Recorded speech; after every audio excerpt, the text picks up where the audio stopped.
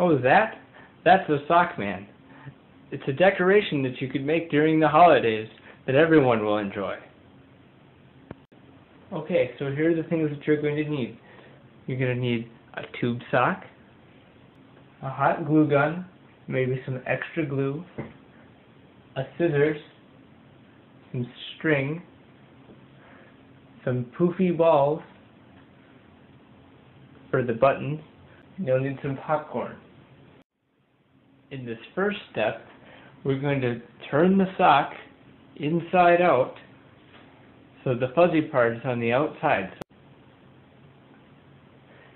Now we must pour the popcorn seeds into the sock.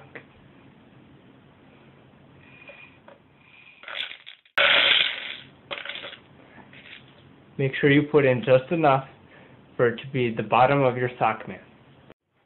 Next we must tie the bottom of the sock man together with one of our lengths of string. After you finish tying the bottom of your sock man, repeat the last two steps with the remaining popcorn and string, gradually making each section smaller.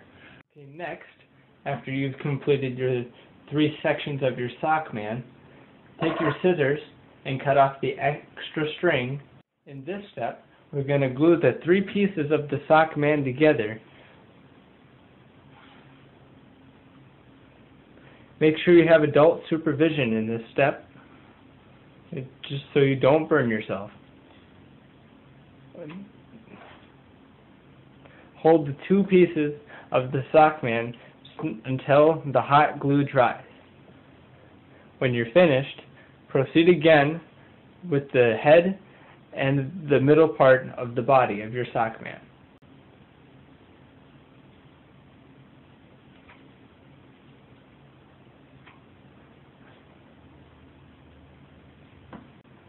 In this next step, we're going to make a hat on our snowman with the extra sock. And then fold the bottom layer up one more time to make a rim. Make sure you leave enough room for his face. In this step, we're going to glue the face and the buttons onto the snowman. To put on one of the pieces, put a little bit of hot glue on, in this case, the eye, and then push it to the face where you want it to go. And now you should have a finished sock man.